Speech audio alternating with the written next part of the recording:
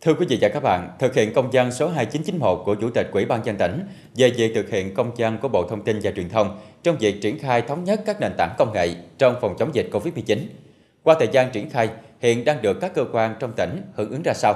Đó cũng là nội dung chính sẽ được chúng tôi chuyển đến quý vị trong chương trình Cải cách hành chính ngày hôm nay.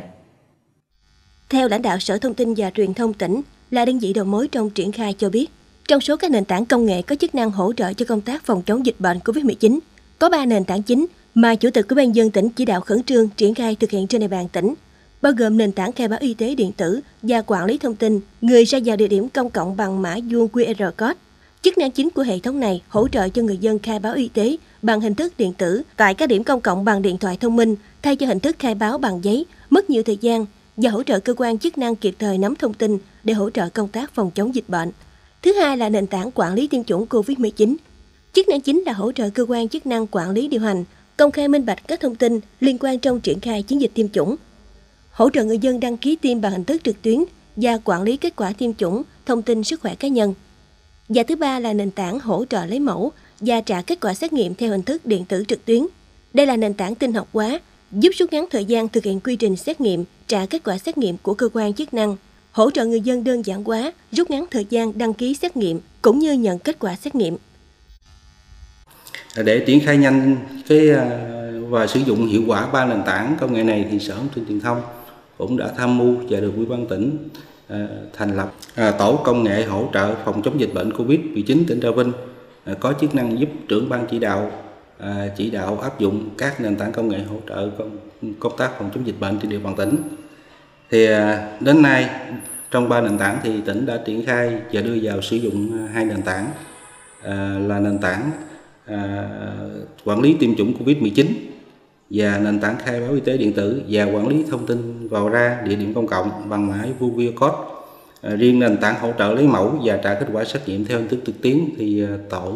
công nghệ đang phối hợp với Sở Y tế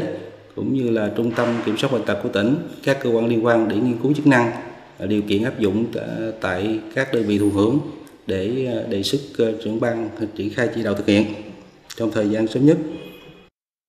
Thời gian qua, Sở Thông tin và Truyền thông đã phối hợp với Sở Giao thông Vận tải triển khai giải pháp hỗ trợ quét mã vuông QR code tại các chốt kiểm tra y tế của tỉnh để hỗ trợ người dân có điện thoại thông minh, cài đặt phần mềm và thực hiện quét mã khai báo y tế, thay thế cho phương pháp khai báo y tế bằng giấy tại các chốt. Theo thống kê, đến nay có trên 7.600 người dân và trên 4.400 lượt phương tiện qua các chốt thực hiện khai báo y tế bằng hình thức điện tử qua nền tảng này. Đồng thời, đơn vị có văn bản tuyên truyền hướng dẫn triển khai áp dụng giải pháp quản lý thông tin người vào ra bằng mã vuông QR code tại trụ sở cơ quan, địa điểm công cộng, nơi tập trung đông người. Để hỗ trợ người dân có điện thoại di động ra vào tại các địa điểm thực hiện quét mã khai báo y tế, thay cho việc khai báo y tế bằng giấy. Đến nay trên địa bàn tỉnh có 287 địa điểm triển khai mã vuông QR code với tổng số người quét trên 1.000 người. Với việc ngày càng có nhiều người sử dụng các ứng dụng truy vết sẽ giúp cho việc phát hiện tiếp xúc gần diễn ra được nhanh chóng, có độ chính xác cao.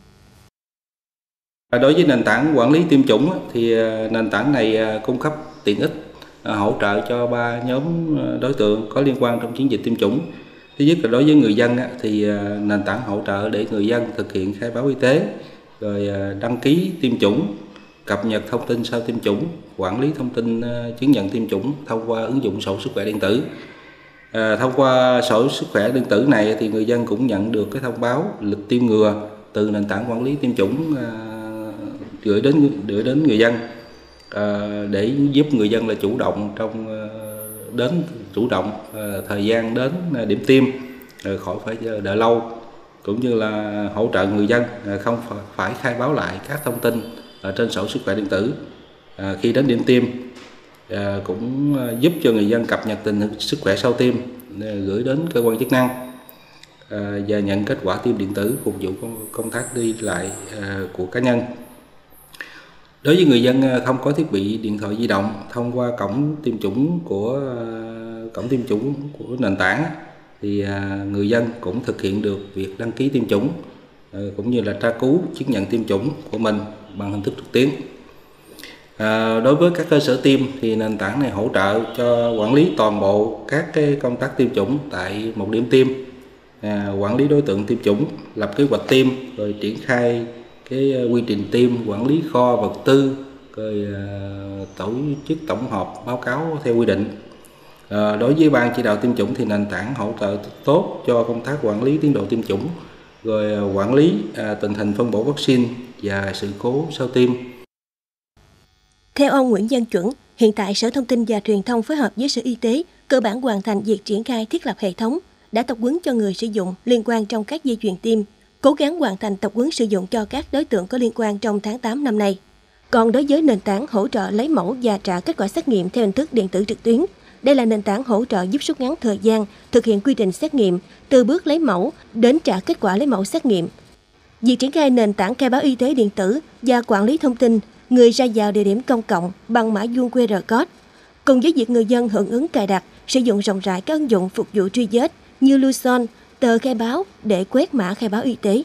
giúp người dân tiết kiệm thời gian trong khai báo y tế theo quy định, kịp thời nhận được thông báo của cơ quan chức năng khi mình có tiếp xúc gần với F0, F1 để chủ động thực hiện các biện pháp phòng chống dịch bệnh theo hướng dẫn của Bộ Y tế, đồng thời giúp cho cơ quan chức năng thuận lợi tiết kiệm thời gian, chi phí, nguồn nhân lực cho công tác khoanh vùng dập dịch thì ờ, khuyến khích người dân có điện thoại thông minh nên cài đặt các ứng dụng khai báo y tế như Bluezone gửi tờ khai y tế cũng như là sử dụng sổ sức khỏe điện tử à, để hỗ trợ cho công tác ờ, phòng chống dịch bệnh của bản thân. À, đối với cơ quan chức năng thì ờ, khuyến nghị các cơ quan chức năng tổ chức sử dụng đồng bộ các nền tảng công nghệ hỗ trợ công tác phòng chống dịch bệnh nói chung, nói riêng cũng như là công tác hoạt động nói chung để góp phần nâng cao hiệu quả hoạt động À, trong nội bộ là phối hợp giải quyết công việc giữa các cơ quan liên quan được nhanh chóng, kịp thời à, hỗ trợ cho thực hiện hỗ trợ tốt cho việc công khai minh bạch à, quá trình thực hiện ừ, nhiệm vụ thực thi công vụ, cũng như là hỗ trợ phục vụ cho người dân doanh nghiệp được nhanh chóng tốt hơn và kịp thời hơn. Thông qua sổ sức khỏe điện tử giúp người dân biết từ quản lý thông tin sức khỏe của bản thân, chủ động trong việc phòng bệnh và chăm sóc sức khỏe bản thân. Đặc biệt thông qua mã QR với đầy đủ các thông tin tiêm chủng trên sổ sức khỏe điện tử là những thông tin cần thiết trong thời gian tới để cấp hộ chiếu vaccine cho người dân được quốc tế chấp nhận, thuận tiện trong việc đi lại. Như vậy dù bước đầu triển khai ứng dụng các nền tảng công nghệ thông tin trong công tác phòng chống dịch COVID-19 trên địa bàn tỉnh còn nhiều bỡ ngỡ lúng túng, nhưng đó là điều cần thiết để từng cấp ngành và người dân quan tâm hướng đến trong công tác phòng chống dịch bệnh COVID-19 trong thời gian tới. Nội dung vừa rồi cũng đã kết thúc chuyên đề cải cách hành chính của Đài truyền hình Trà Vinh ngày hôm nay. Cảm ơn quý vị và các bạn đã quan tâm theo dõi. Xin chào và hẹn gặp lại ở chuyên đề kỳ sau.